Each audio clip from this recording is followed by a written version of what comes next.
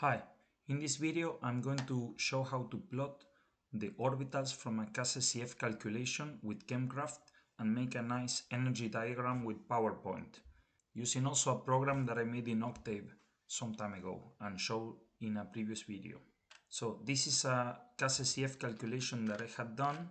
If I look at the ground state of my calculation, I have an occupation pattern for the orbitals in the active space. I want to see what the orbitals look like and I also would like to plot their energies. So for that I go to ChemCraft first and I will open the file of course. And this is a Corrole with a triphenylphosphine uh, apical ligand and I will plot the active space orbitals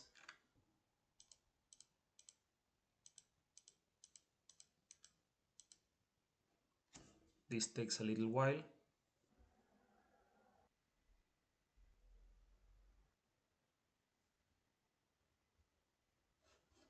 So these are my chosen colors for this type of plot. What I will do is orient the molecule as good as I can. I will check all the orbitals.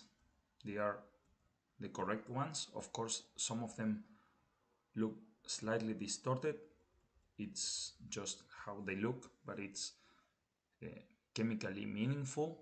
So for each of them I will export an image. And I increase a little bit the resolution. This is a slightly different calculation from the previous one. So these are slightly different orbitals but the plot will look very similar. So the, this takes a little while but not that long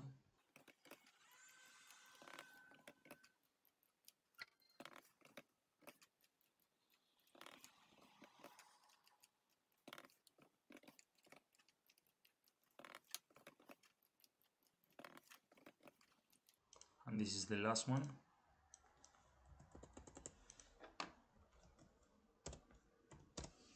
So now I open a previous file that I have already in PowerPoint and I will insert the pictures. I will change all their sizes to around 3.6 centimeters doesn't matter. I can also make the backgrounds transparent that makes it slightly easier so they are now ordered. I will not touch them until I have the energies. So now I go to the file and what I'm going to do is look for the orbital energies. Find only the active space orbitals, which are the ones that have occupations between 2 and 0. So in here they are labeled from 2014 to 2022 but in Chemcraft they are numbered from 2015 to 2023 so that's always something you need to take into account so you don't confuse the orbitals. I will copy this to another file just to have it slightly more ordered. I will save this file later. But these are the energies in electron volts. I could use also the energies in Hartree. And I'm going to copy this to a MATLAB file that already plots the energy levels with the occupations that I give it. So I press Alt to select a column and I go to this Octave file. I already have done this for many other molecules. I need to make some room. So I will call this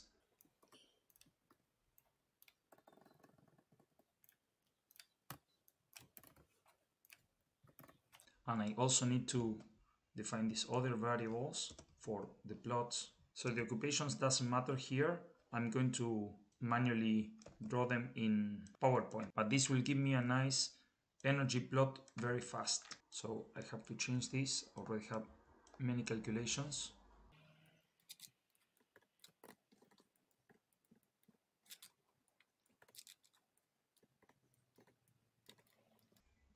And I will do the plot.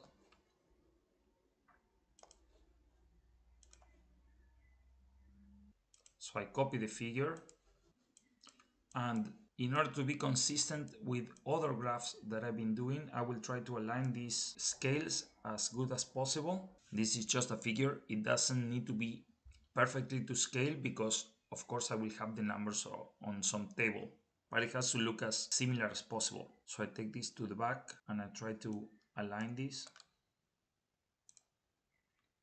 So this is more or less aligned, so maybe I can slightly... So I know this is more or less to scale. It's not perfect. I put it here and I will copy. So I, I can remove all these. These are from another calculation. So I will copy this part, then I, I can change the labels depending on the actual order of the orbitals.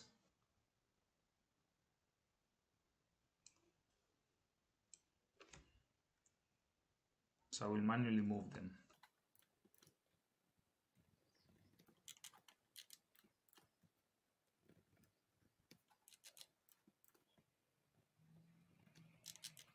I do this because I still don't like very much the resolution and the quality of the graph generated with Octave. So I manually redo it in PowerPoint, but of course you could directly use the output from Octave and that would be perfectly okay.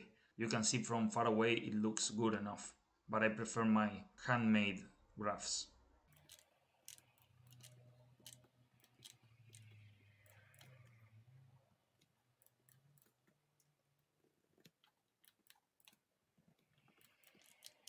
Okay, since this is now correctly to scale, I can delete this picture and I can check again if my orbitals are ordered in energies because sometimes they are not ordered in the active space and you need to check which is which.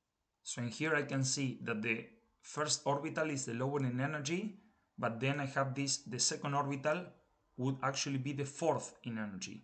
And all the others, except for this one, are ordered correctly. So that's easy for me to recognize because I have done many of these plots for similar molecules and I already kind of know the order that the orbitals will have. But if I didn't, I have to be careful with those energies. So the first one is going to be the lower one.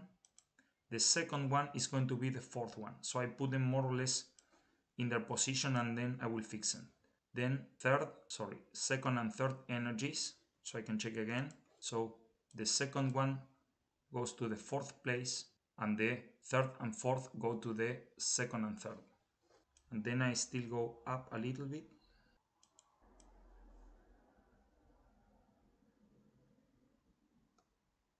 Sixth one is okay. The seventh one should be higher in energy. So this is the seventh one. This is the highest. And this would be this one and this would be this one.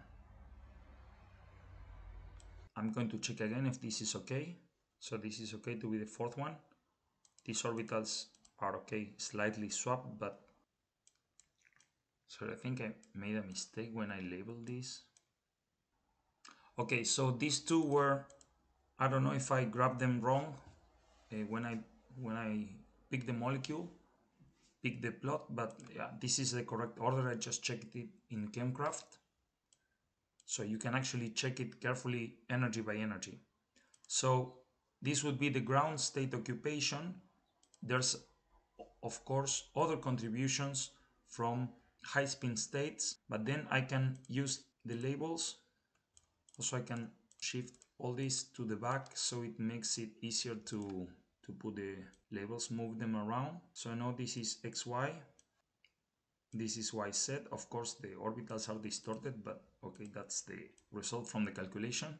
This is the HOMO minus one. This would be a mixture of HOMO and the DZ square. This will be a mixture of DZ squared and the HOMO, the LUMO.